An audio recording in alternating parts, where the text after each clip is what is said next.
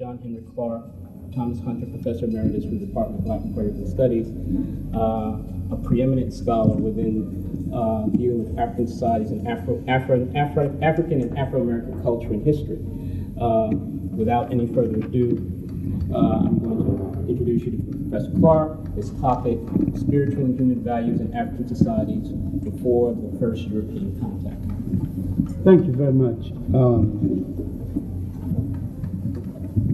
I will begin by acknowledging the fact that we live in a European conceived intellectual universe.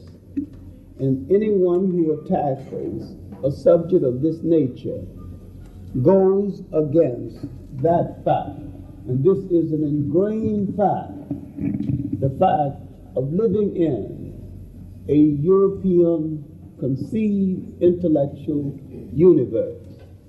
And this concept of a European conceived intellectual universe became very firm in the 15th and the 16th century.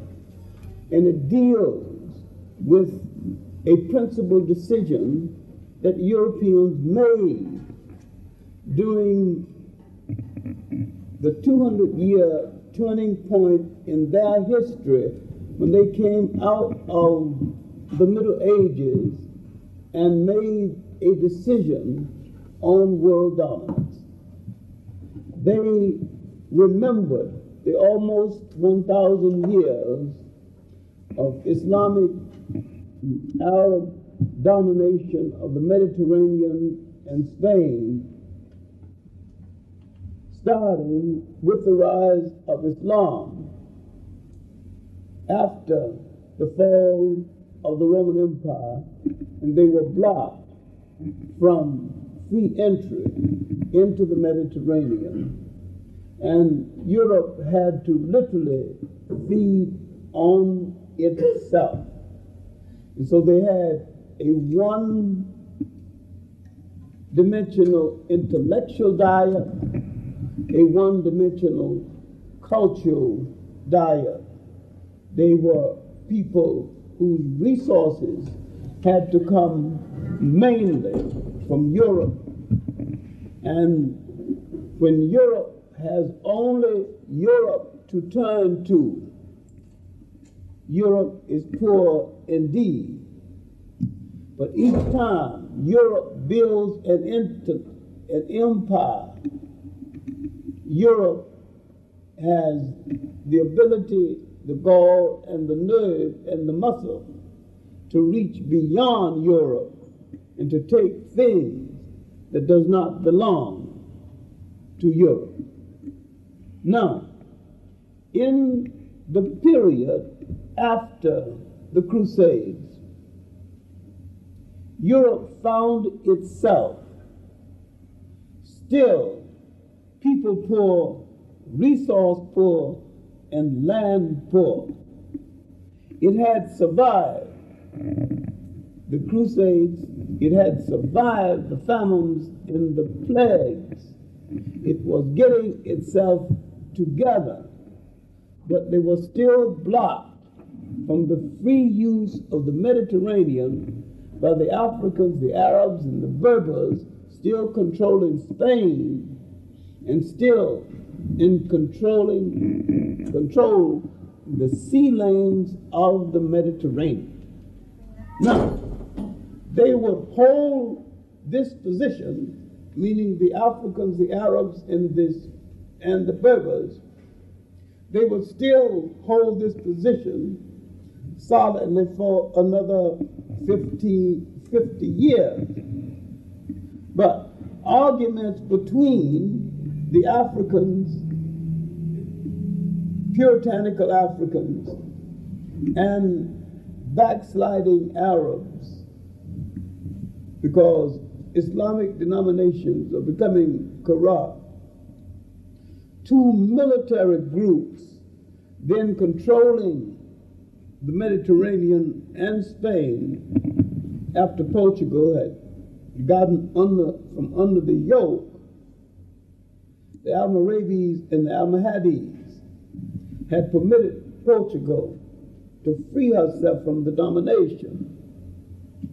But this weakness brought on by internal strife by Europe's enemies, the declared infidels, had weakened their hold on the Mediterranean to the extent that Portugal attacked, attacked a part of Africa, 1550, a little plot enclave in Morocco called Ceuta. It's about the size of Central Park or smaller, but that's not significant. The significant thing is that for the first time, almost a thousand years, Europeans had drawn the blood of Africans. And they had invaded the territory of the hated infidels. Now, the Europeans called the Muslims infidels, and the Muslims called the Europeans infidels. All right, now, this is a condition, the condition of calling people infidels is a condition of the creation of people outside of Europe. The, the Africans never referred to people not of his religion as being an infidel because he did not belong to a religion not of the African's creation. But now, 1450, with the Castilians asserting themselves, 1455, with the Pope telling the Span Spain and Portugal, you are both authorized to reduce to servitude all infidel people. Literally, you need not feel guilty for what you do in the slave trade. 1455. Now you have two trends in history. One that history has forgotten. At the same time, this drama is unfolding in the Iberian Peninsula. There are great independent states inside Africa, inside Western Africa, the Western Sudan. The state of Songhai is in great shape. And it's about to get one of its two greatest rulers, two of the greatest rulers Africa would know in the last 2,000 years. Soni Ali is about to come to power. He's going to be followed by Muhammad Touré, known in history as Askia the Great. So all Africa didn't fall at one time, and there would be independent states of great magnitude 200 years into the slave trade period. But now, 1482, an expedition sailed down the coast of Africa and demanded the right to build permanent fortifications. And they built castle called Elmina, or the mine. In this expedition was a little known sailor, Christo Colon, later known as Christopher Columbus. And he said in his diary, as man and boy, I sailed up and down the Guinea coast for 23 years. What was he doing up and down the coast of West Africa for 23 years? He was obviously in the early Portuguese slave trade another lecture another time. But once we examine Christopher Columbus, he, will stop being the Western hero that a whole lot of people think he is. All right, that's not significant for now, except that he encountered African sailors who had already gone to the New World. And they told him a few things that helped him when he finally went. The important thing is that Europeans made a decision once they got together. And that is, whosoever ruled the world is going to be one of them. They had lost sentimental attachment to themselves, they had lost sentimental attachment to the world, and they had the cooperation of the church in sanctioning what they did. And the church assigned the Knights of Malta and the Knights of Genoa to look after the church's interest in the trade. So now, with the Europeans out to colonize most of the world, they began to colonize information about the world. This is the beginning of the concept of a European conceived intellectual universe. From the 15th and the 16th century on, the way we look at the world, the way we look at people, the way we look at history, the way we look at the Bible, the way we look at God would be through concepts laid down by Europe. The concept of everything good being white and black being evil and Asian being diabolical, Fu Manchuism is now about to start.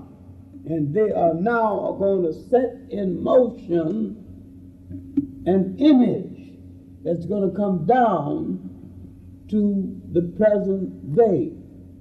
It's going to reflect in textbooks, going to reflect in movies, going to reflect in cartoons, going to reflect in ma- the mass media to such an extent that the victims are going to believe it. It is going to be whitewashed, brownwashed, blackwashed to such an extent that it's going to take over the mentality of the world. They're not only going to convince themselves that it's so, they're going to convince those who suffer from it that it is so. And this is how it all started. Now, let us look at that world before thousands of years before this happened, before there was any European at all, before the word Europe was used. It is hard for you to conceive, but there was a time when there was no Europe at all when there was no state at all, when the Greeks had no name, when England had no name, there was no England, there was no Roman state or no Rome, when there was no Judaism, Christianity, or Islam. There was a time in the world there was no Moses, was no Adam and Eve. And none of these things had existed and the mythology out of which these things came hadn't been exposed to the people who copied them from others and made them part of the myth and the literature of the world. There was a time when this had not happened. Now let's see if we can look back and see what happened during that time because it seems inconceivable to most people that right and wrong was figured out before the European came to tell people that something was right and something was wrong.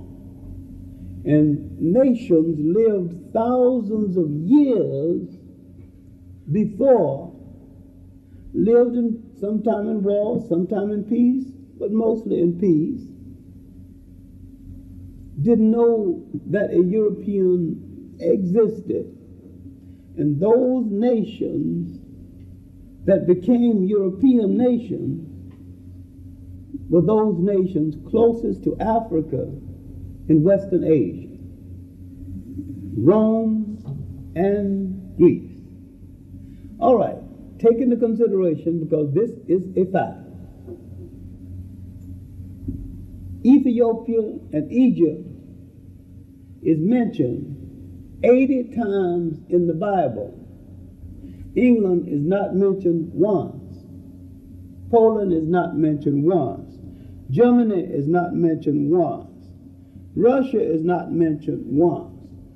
No nation in the Scandinavian countries mentioned once because these nations did not exist at the time. All right. If every any Scandinavian schoolboy or any person of European descent, any place in the world, can claim Greece as his intellect, his or her intellectual heritage, and when his or her country did not exist at the time of Greece, and yet Africans are questioned when they claim Egypt as their intellectual heritage, and their respective countries did eh, not only existed, but some of the original population that settled in Egypt came from their respective countries. Now, the relationship of the Romans and the Greeks, especially the Greeks, the relationship that they had with the people across the Mediterranean and not with the people what became Europe, because what became Europe wasn't functional at the time. Now, I can make a better case for Greece being a part of Africa than you can make for Egypt being a part of any place except Africa. Because physically, Egypt cannot be found any place except in Africa. And Egypt never had any consequential relationship with anybody in its early development except within Africa itself.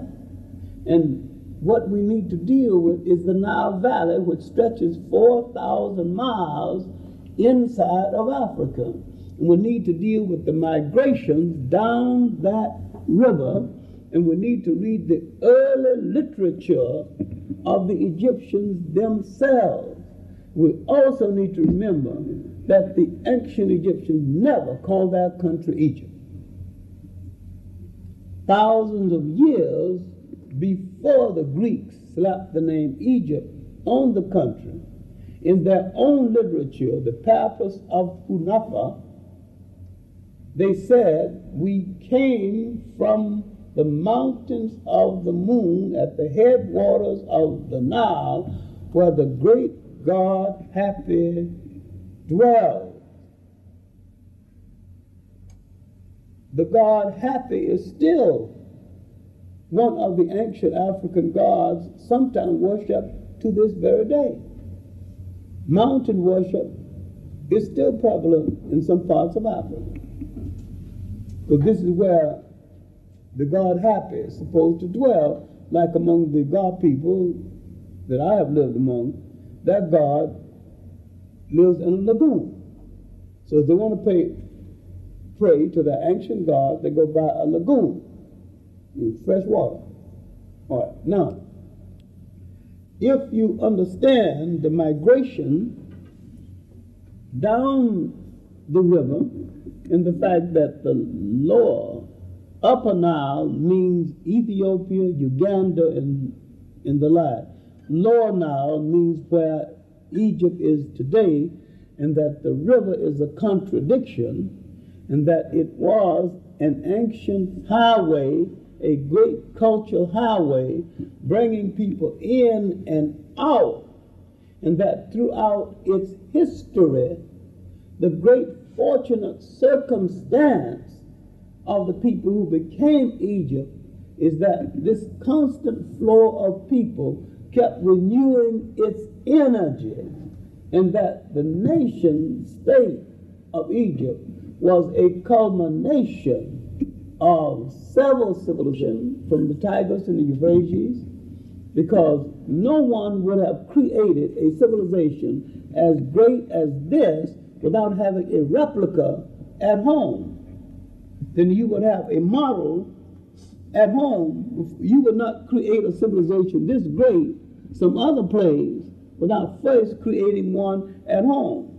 And the Europeans would not have come from under all of that ice to go all the way over to Africa and create a great stone civilization, then go back into Europe and live 2,000 years in barbarism before they make a good European shoe or live in a house that had a window. So now, when you put logic to the situation, the whole idea of Europe having anything to do with it becomes utterly ridiculous and becomes even beyond laughter. All right, now let us look at this early river civilization because nearly all civilizations were river civilizations and look at the social thought of this river civilization then before we go to the other river civilizations. All right, now I am not saying that this was the only great river civilization. I'm saying that this was the first of the great civiliza- river civilizations of the world. I am not downgrading the great river civilization of the Tigris and the Euphrates. I'm saying that this might have been the second of the great river civilization, the Tigris and the Euphrates.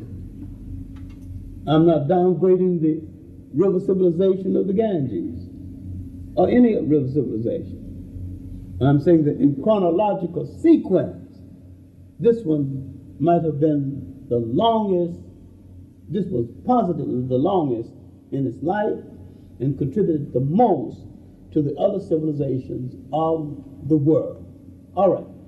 Now, when you look at South East Africa, Northeast Africa, present day research, obviously, the research indicates that the concept of early man started in this area. The concept of organized societies started in this area. Now, if organized societies started in this area, there must have been a crowding or difference of opinion that caused people to move down this river, down this culture highway, to ultimately settle at the lower end. But there were people settling all along. Now, if you read Chancellor Williams' book, The Destruction of Black Civilization, the second chapter, Egypt, Ethiopia's oldest daughter, one of the better chapters written on the subject, or John Jackson's Introduction to African Civilization, and read his chapter, Ethiopia and the Evolution of Civilization. There is a wealth of material on the southern African origins of, of the people called Egyptian. Now, in order to get across the illusion of the out and out lie that Africans were not the creators of Egypt, white scholars, if they can be called scholars, had to ignore white scholars who have done masterful work in the field. That you never see them quote or refer to at all. Gerald Massey's masterwork, Egypt, Light of the World, two volumes. Natural Genesis, two volumes. Book of the Beginning, two volumes. Massey devoted 40 years of his life to this single book. And he spun a generation of new scholars, especially in England Albert Churchward, whose book Signs and Symbols of Primordial Men is still a classic work. And in the United States, a, a, a fine scholar, still being ignored by American scholars, Alvin Boyd Kuhn, whose excellent work, Who is This King of Glory, may be one of the clearest works ever written on the Christ story. And his second great work, um, Shadow of the Third Century, dealing with misconceptions of Christianity, but also dealing with the African intellectual father of the church, St. Augustine, and St. Augustine's opinion of the council meetings at Nicaea, who said that it makes him laugh. Because he said, these people are arguing about a religion we had all along. St. Augustine is clear about the fact that there was nothing new about Christianity. We had the, Africans had the same religion under another name long before Christ. But Boyd Kuhn is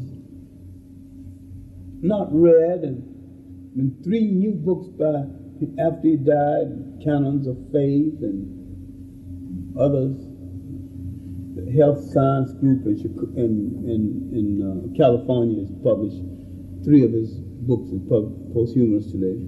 But they, they don't read it. But uh, other than that, are other works written and published by Europeans among German writers writing on the same subject, still ignored. The early German writer A.M.E. Heeren, the six volume work listed as Heeren's Research, his fourth volume. This he written a history of the an economic history of the ancient world. His fourth volume, A History of the Commercial Trade Intercourse between the Egyptians, Ethiopians, and Carthaginians. Excellent work. And uh, you, if you could find it, if you could find the six volumes in a rare book store if you get them for five hundred dollars, you're getting them. You get them at a bargain. I bought the five, the six for seventy-five dollars because the the book dealer Sam Wisener just happened to be in town, and I was him so many customers over the years. He just let me have them for seventy-five. It's rare that you would even find them for sale. Or somebody died and somebody closed out an estate the and the people who own this they don't care too much for books anyway, so they, you know, they, that's about the only way you get a copy, you know. So uh? It has not been republished. It's not only deals with Africa, deals with Western Asia, deals with early ancient Europe. Heeren's research, that's H E R R E N. This is the early German writer. The second German writer that that's ignored by the Western academic community is Heinrich Barth. Barth went out with um, British expedition in the 1880 in 1850s, 30s, uh, yeah, yeah, because his work his work appeared in 1850. And Blumenbach, alleged father of sociology, anthropology, one of them well, the British had a poor expedition. They didn't have much money. They wanted one man to do three jobs. So he sent this brilliant student who could read all kind of languages and, you know, all kind of skills. He was a botanist and then he, he was a good draftsman. And Barth was so thorough. Each time he come to a place, he would draw the plant life, the animal life, you know, the rose. I mean, what kind, the river, which way it's flowing, dress. He, he was thorough. And he, could read Arabic and translate and digest history of the Tuaregs, Tu- the histories of the different kingdoms and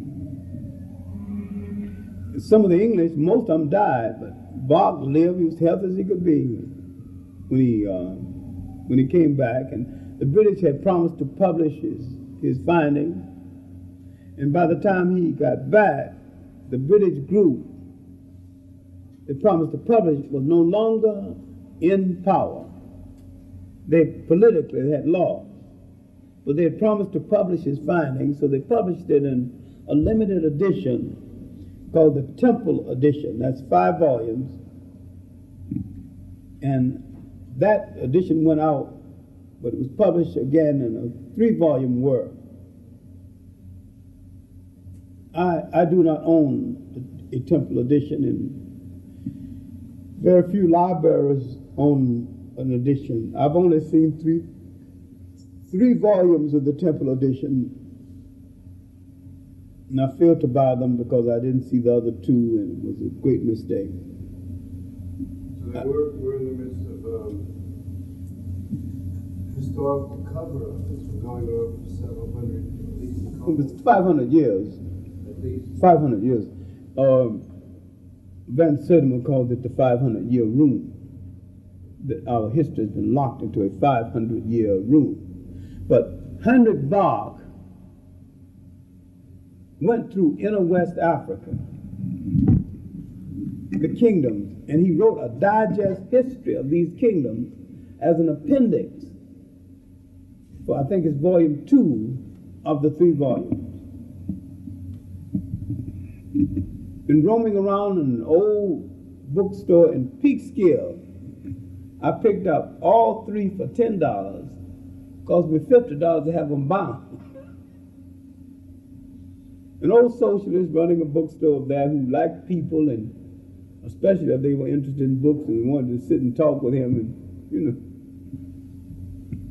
He wasn't trying to make any money, he just seemed to be more interested in a good conversation. so I I got the books cheap, you know. Had them bound, bought some other things. So I got, in addition for me, I got a Cass Limited in England, published another edition, which cost me about seventy-two dollars because I didn't know the difference between guineas and shillings and you know. So they said so many guineas, so I thought that was cheap, and I said, "Oh, send it to me." And when they got the bill, you know, What, what is it, if you can characterize it, you know, uh, Can ask you, one? you allow uh, Professor Clarke to speak, and then after, then you can take my question? Oh, okay. Uh, no, um, let, let's, let's, I, I just want to deal with the literature briefly, then we're gonna go, right? we're gonna finish. Now, Frobenius is the, is the last of the German writers that's neglected. He, um, he lived into the German colonial period. And he wrote a massive five volume history of Africa, African civilization. Never been completely translated, but condensed into a large two volume work called The Voice of Africa. But there have been a lot of excerpts from, Frobenius's work. But Lady Flora Shaw Lugard, went out to Nigeria to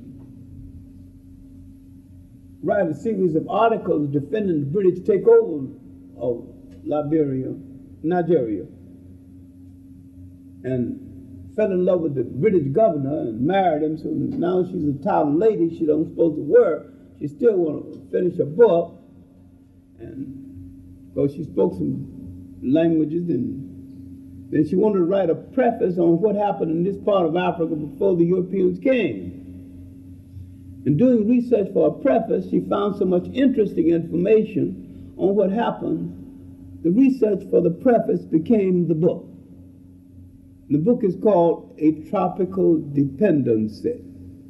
The book became literally a Bible for anti colonialist Africans, including Nkrumah, many of our early scholars, Hansberry, was converted to being an African scholar by virtue of reading this book. Now, I digress merely to let you know that there is a large body of work written by whites, and these, this work is ably written, and that some of them devoted a lifetime, an entire life, to setting straight African history and social thought. And they're still being ignored, rarely ever quoted. Now, I can go on mentioning work written by, by Africans. But these men rendered good service in showing that Africans played a commendable part in the history of the world.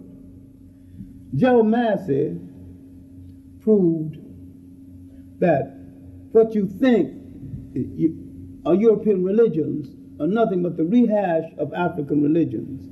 And he shows in diagram how these religions were systematically taken from Africa. And he takes the major Western religions. Now, an African writer, Ben Jochannan, has done a more succinct job in his work, The African Origins of Major Western Western Religions. But I'm merely pointing to white writers that white scholars refuse to read.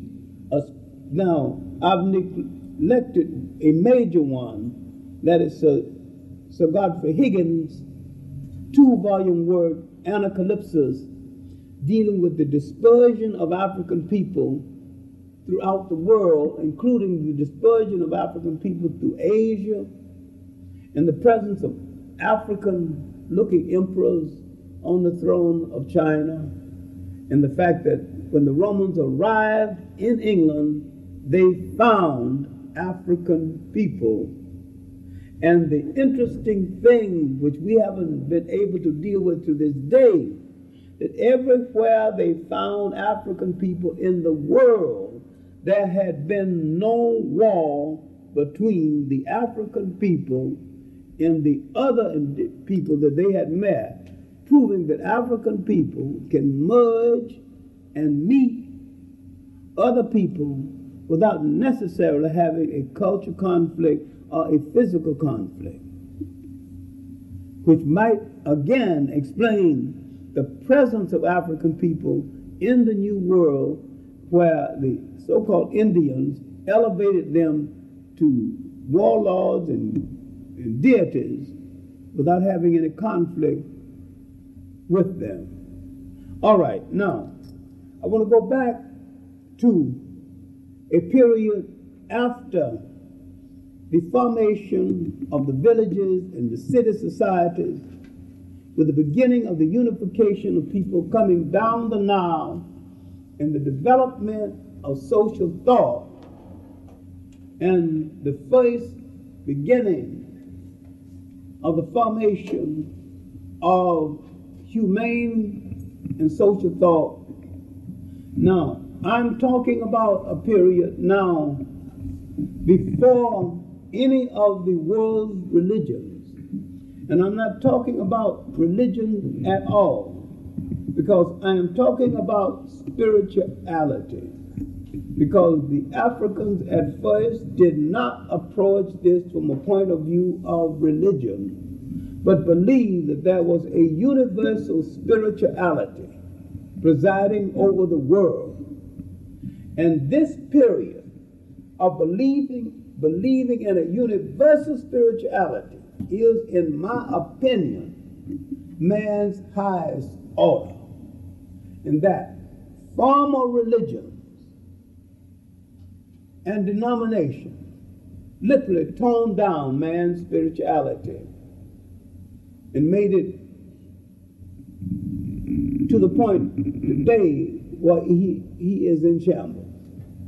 But during this early period of Nile Valley civilization, when he believed in a universal spirituality and he lived at peace with everything around him, the Africans believed that everything had a soul. Now, trouble would begin when foreigners would copy African religions and would take an arrogant attitude toward himself and the concept of soul. When man said that he alone has a soul and the dog and the cockroach has no soul, that is when man began to lose his soul.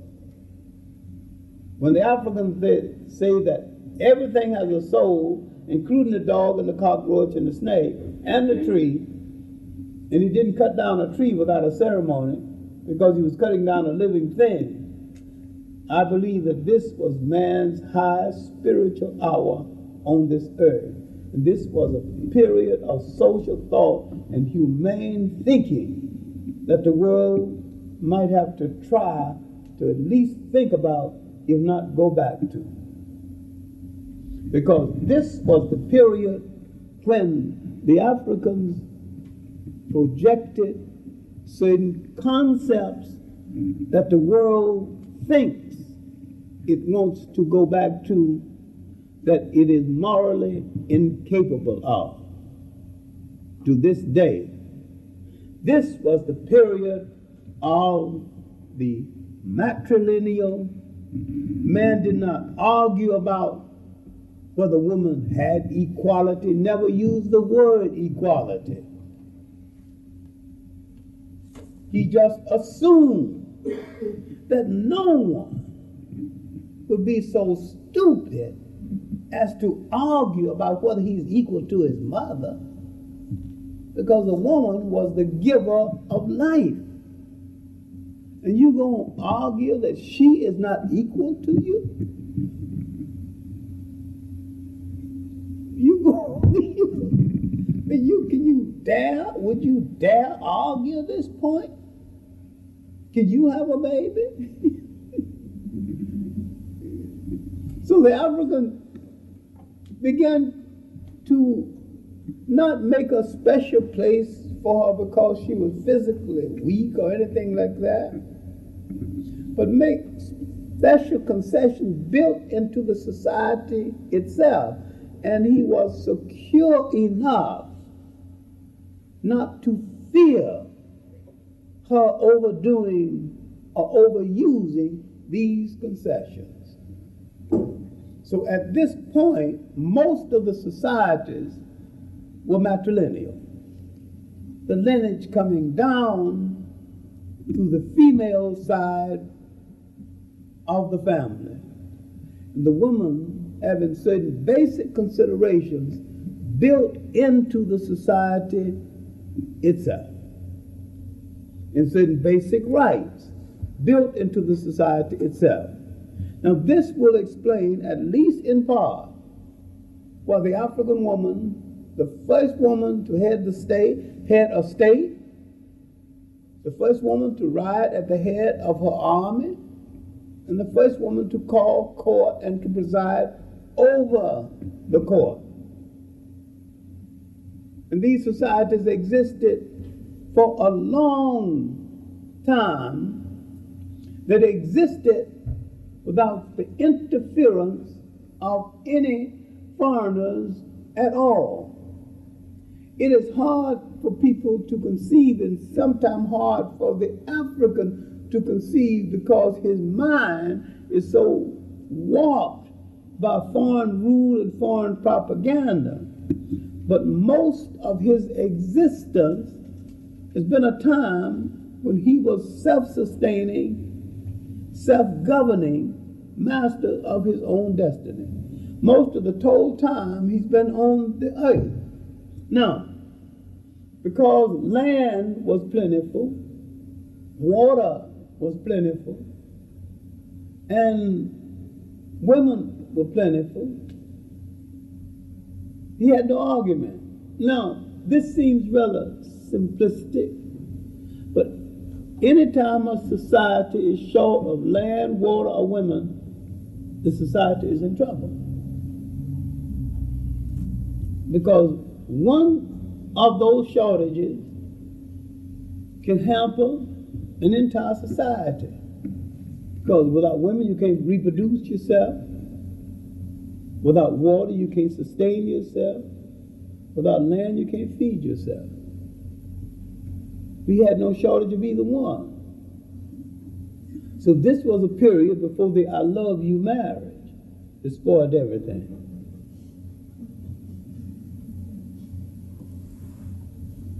See, here's, here's where marriage was for the sake of union of people, union of group, and sometimes union of cattle Might offend some people today, but sometimes brought all those sheep and goats and together, and two people came together and they benefited by it too. Then it kept down walls, kept down dissension. And it united one group, sometime who feared another group. These consolidations.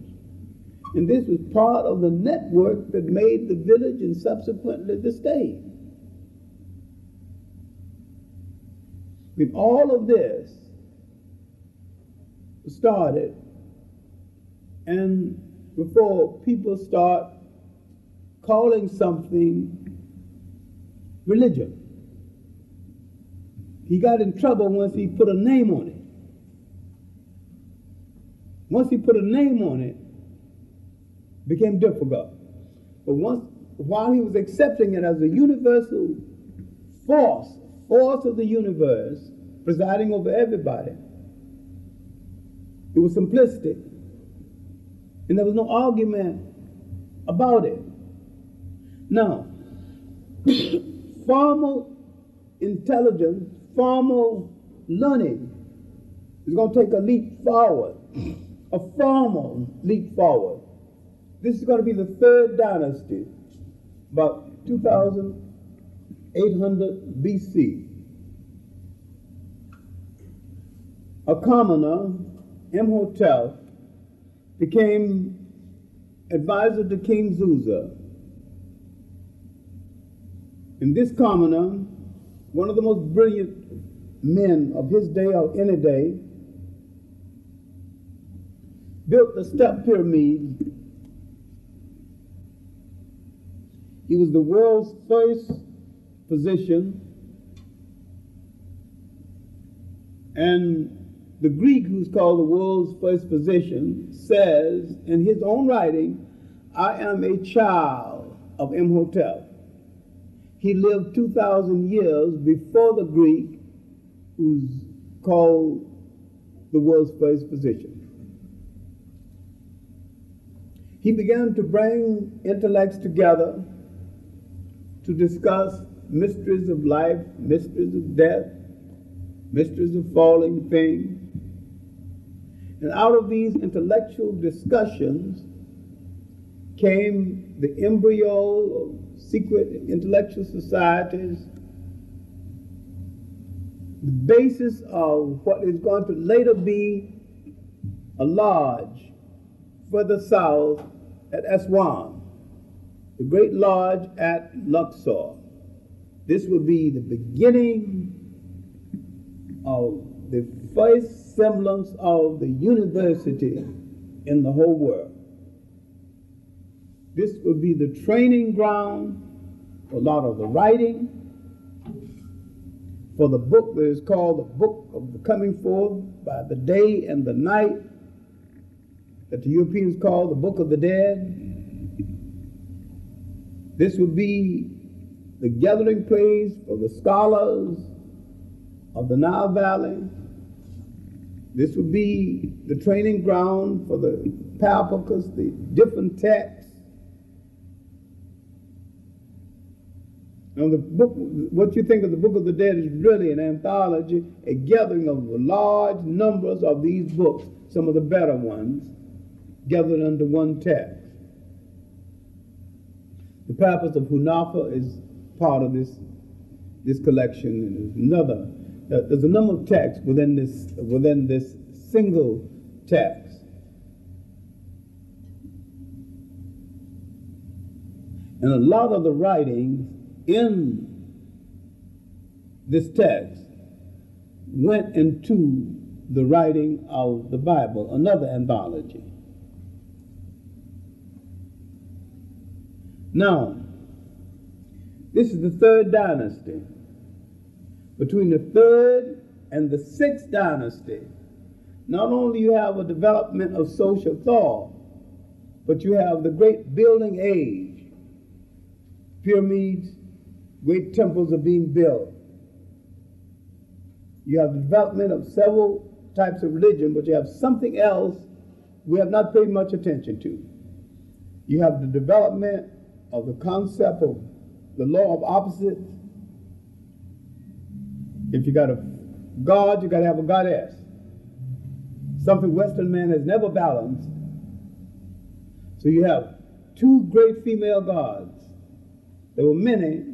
The, best known, Hathor, whose influence was spread to India, the basis of the whole sacred cow worship in India today. Maat, the best known of the female gods of the ancient world.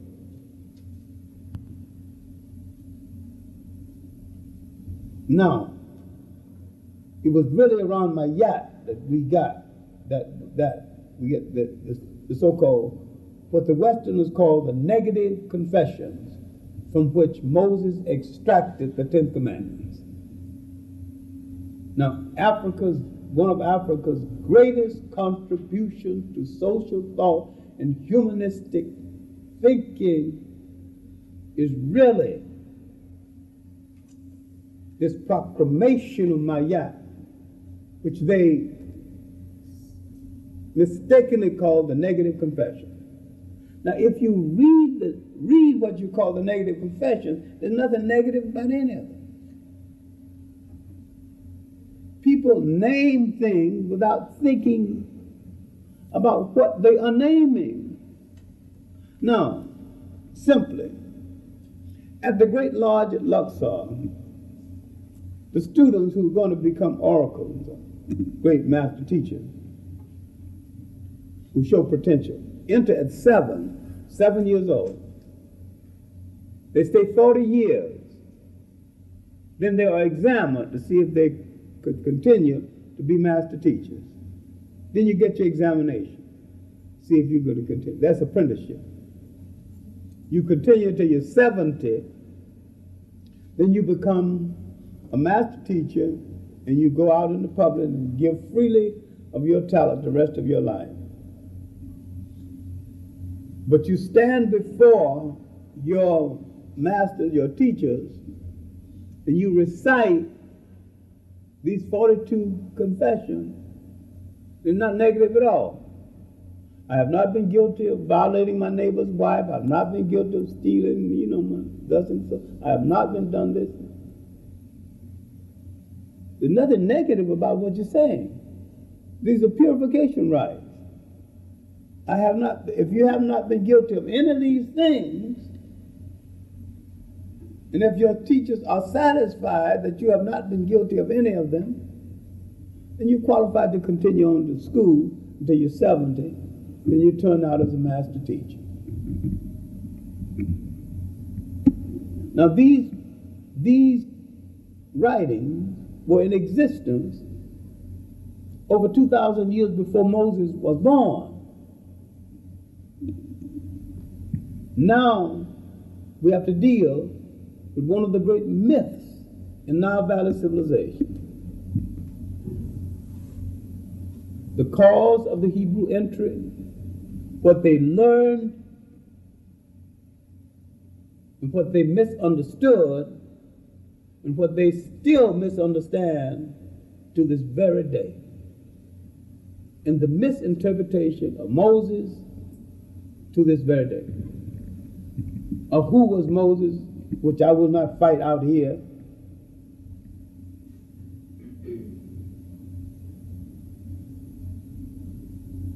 But they came in the 1700s BC.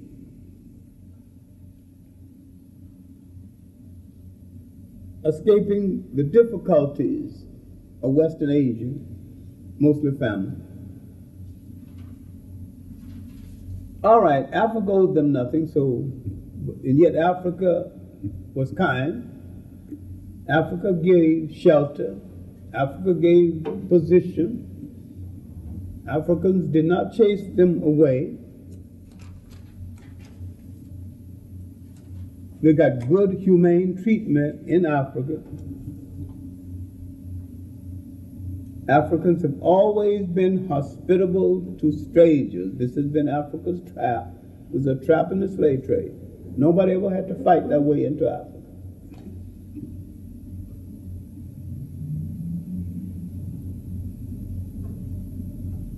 And they stayed and they, they, they lived in some kind of decency. 1680, that was an invasion in Western Asia by a group of rulers referred to as the Shepherd Kings, Hittites. They knew the people who invaded. They, they had lived in the same basic area. They spoke the language. And they became servants and collaborators with the invaders as against the African who had befriended them. We're not talking Bible now, we're talking facts, historical facts. All right. Here, with Africans, emerged among them maybe the world's first wheeler dealer politician, Joseph, called the provider, who had the ear of the foreign kings. Here emerged an accusation in history with never proven, one iota proof, that they were slaves in Egypt. No scholar, Jewish or otherwise, ever proved. Just repeat it, but nobody ever proved one word of it. Nobody ever proved they made bricks with or without straw. No one ever proved they built any pyramids because all the pyramids were built before they got arrived. The Sphinx was built before, before they arrived. That's not important. What is important is that these Western Asian strangers came into Africa's house and got humane treatment. That's the only significant point. In that they saw a house that was culturally rich, religiously rich. And they came in without a clear language, a clear religion, and a clear vision of themselves. And they left basically with all three large and numerous, led by an African called Moses. The important thing is the cultural aspect, and that all of them did not leave in the so called Exodus. And that was a 16 mile land bridge connecting Africa with Western Asia. So therefore, they walked in. There was nothing to prevent them from walking out. So Charlton Heston did not lead them out. Cecil B. DeMille had nothing to do with this. It's just an interesting story. But now, this is basically what happened. You got to find the king who knew not Joseph. The indigenous kings came to power, owed no political favor to Joseph or his people, and said, Whosoever are willing to live under indigenous African rule, obey indigenous African law, may stay. Anybody not willing to do this will have to go. It's as simple as that. Those who decided they wasn't going to live under African rule went. The rest who decided stayed. and a large Jewish population. Some of them were there when the Romans arrived. Now, the simple true story is rather unromantic, but it is the simple true story. Whether they left 600 in number, I tend to, to question. Six hundred thousand. 600,000. And I also tend to question whether a forest could support that many people for that particular time. A forest of this time, or a forest of that time, or any time. Now, after this, you've got a period of recovery, 17th and the 18th dynasty. Then we go to the main figure of social thought in that in the 18th dynasty is Akhenaten. Although I would love to discuss Hatshepsut because I, I I'm very intrigued with women in power, but I don't have the time for that because Akhenaten is so misunderstood. Akhenaten, who did not want to come to power around 1380 or thereabout, son of Queen Tai, a Nubian woman from the south, Amenhotep the third, would rather write poetry and play with his cousin Nefertiti but he did come to power. He outlawed warfare. He thought so much of life he wouldn't crush a flower. He permitted the nations, colonists of Egypt, to break away and gain their independence.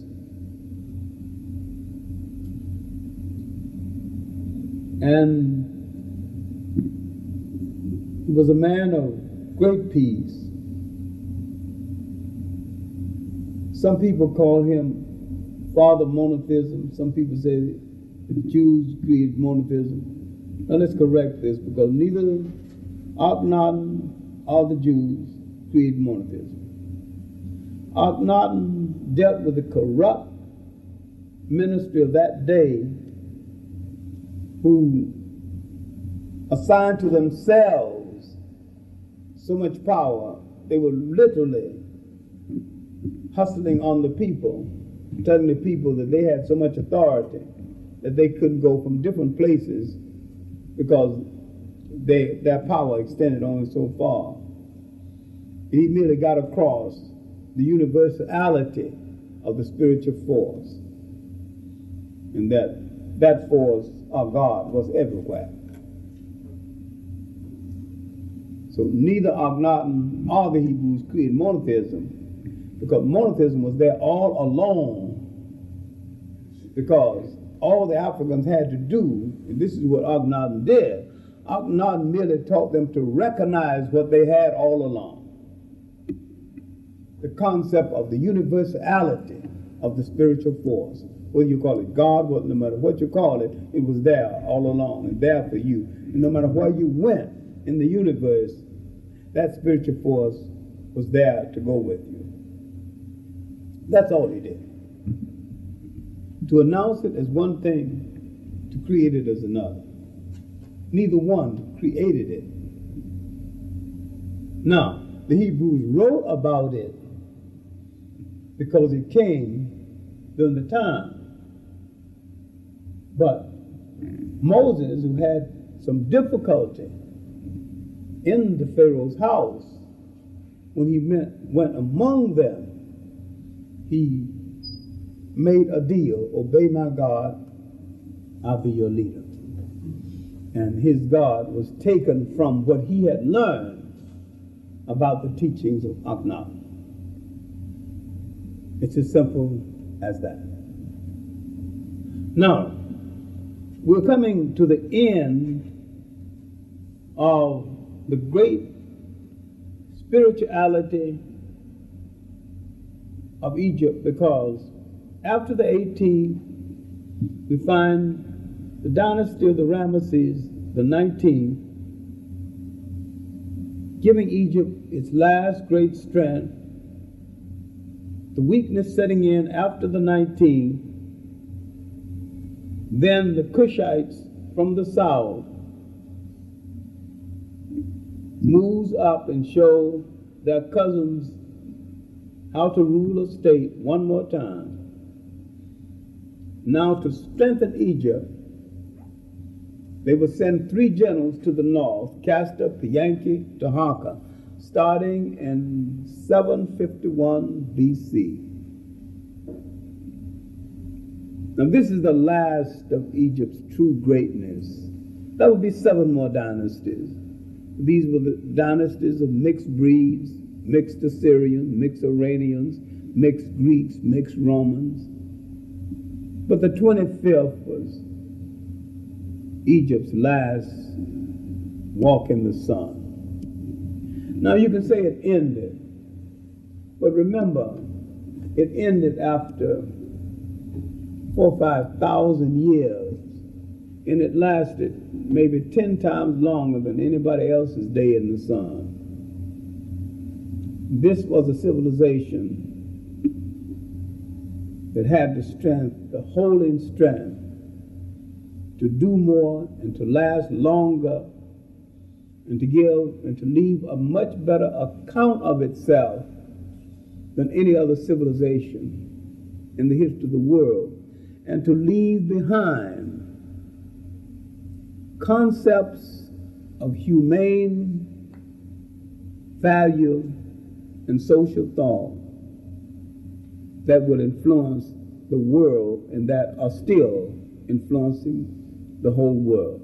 Now, I'm going to conclude by talking all too briefly about the civilization of the other rivers, principally the Niger, the Volta, Limpopo, and the Congo. Because I'm skipping a, mass, a vast area. I'm skipping over the role of Africans in the development of Christianity, Judaism, Christianity, and Islam. But after the Roman X and the Africans and the Arabs established themselves in Spain and the Mediterranean, the formation of states in inner West Africa, called the Western Sudan, began to have social thought and humane treatment for its people, similar to and sometimes equal to that of Egypt. And remember, some of the population of Egypt, a great deal of the population, after the invasion of Egypt by Cambyses from Iran, what is now Iran, 550 BC, the population began to scatter. So the original population of Egypt began to leave Egypt. And by the time Alexander the Macedonian arrived, at least one half of the original population was gone. Until today, you may not find a single descendant of the original Egyptians in Egypt, but you might find many of them in Africa, but not in Egypt. You find them in the Sudan, find them in Ethiopia, find them in large places in Africa, but they physically left Egypt.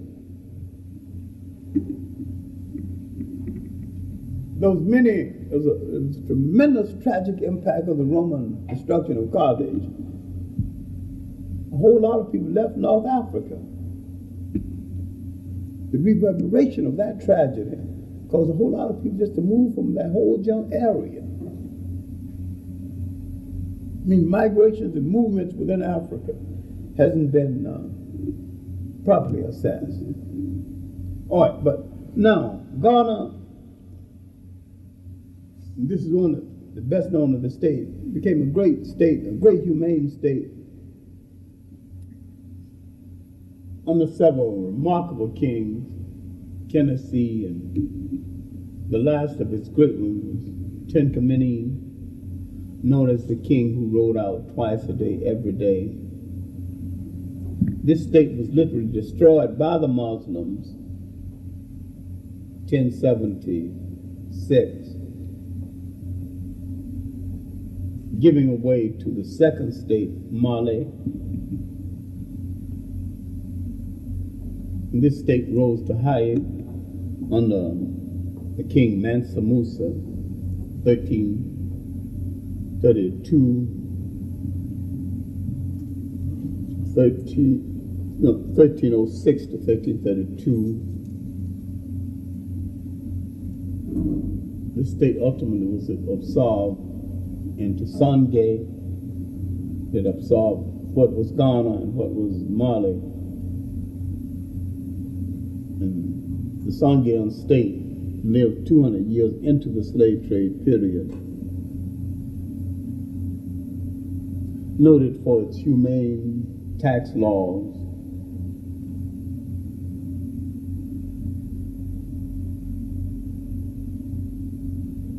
When the British uh, was delayed in entering the slave trade, entered, they drove the Portuguese out of West Africa, and the Portuguese went to the Congo, formed a partnership with the African, and the Africans grew sick of the partnership, and the Portuguese tried to start the slave trade. Then the Africans rebuilt the Congo after throwing the Portuguese out, brought into being a fine king, Shamba Bolongongo, outlawed warfare, sent his men to Niti. A lot of the evidence of this kingdom, especially the figurines depicting the different royal families, can be found in the Brooklyn Museum.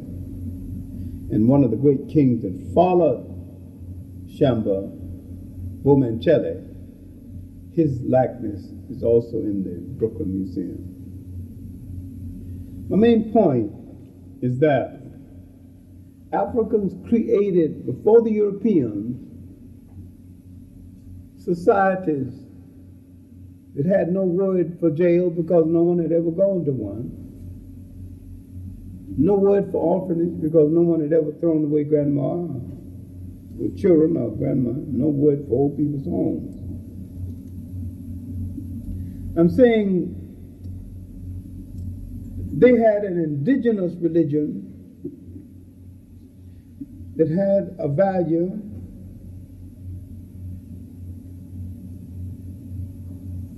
transcending that of Judaism, Christianity, and Islam, principally because they lived it out. They didn't do a lot of preaching, they lived it out.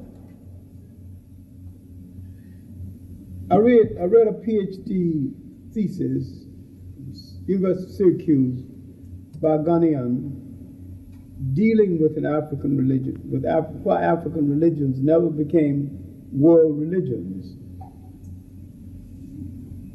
And he explained that because first they were free, no commercialism, no pew, no silver piping, actually didn't make any demands on anybody. How can you become great when you're not asking for anything, not passing any collection plate, you're not penalizing people for not showing up? You greet them when they do show up. You know, ask, why were you last Sunday? Religion is not a Sunday thing anyway. Religion is an everyday thing. It's a part of your very being. It's not a Sunday or Saturday, it's totality.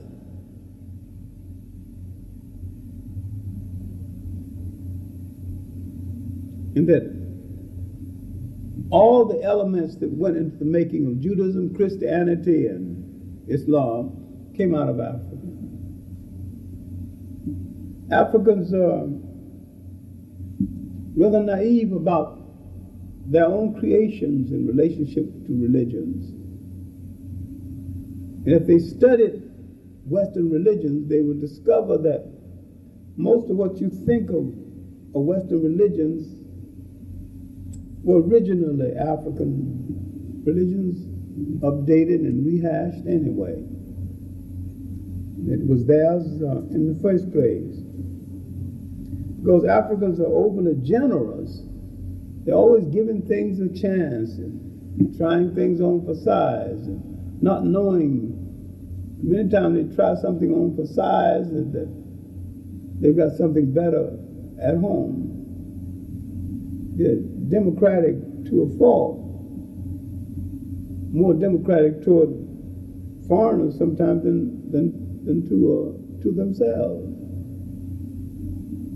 But I think in the world of tomorrow, in the building of new African governments, Africans will have to understand that they created concepts of living, of social living. Not only before Karl Marx created socialism, but before Europe itself was born. They have to believe again in their own values, in their own self, and in themselves. When you want to oppress a people, the first thing you have to do is to destroy their self confidence and historical memory. And Africa not only needs an economic rebuilding, but a spiritual and cultural rebuilding. A case of rebuilding their own confidence in their own religion.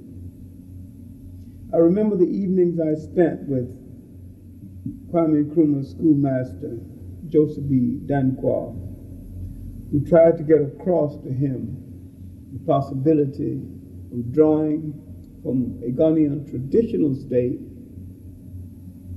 and that he could put the two together and build a modern state. And there was no contradiction between the traditional state and the modern state.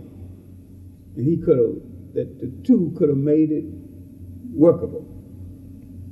That uh, it was a dream that still could, could have been realized, and that the model of the European, while it might work for the European, it wouldn't work for the African because it lacked spirituality. Well, that's not our, our worry, but I think if we are to go into tomorrow, Africans will have to take the totality of Africa into consideration. And now, I don't worship any Western religion, and yet I consider myself a very spiritual person. And yet, when I go to my hometown, Columbus, Georgia, and my sister takes me to Gethsemane Baptist Church, where I used to teach Sunday school, I respect that fact. I think the new minister is too young, he can't preach. I think they've got a good choir, I respect that fact. I don't like to go to any church where they can't sing anyway. But I would not go into her church and tell my religion is the opiate of the people. I wouldn't be that stupid. Even if I believed it, I wouldn't. I wouldn't go into her church. I, I wouldn't say it. But it might be the opiate of some people, but not the opiate of all people. It's, it's, it's life and death for some people. So in, in our socialism, we're going to have to handle it different from some other people. We might have to socialize it, then clean it up. My main point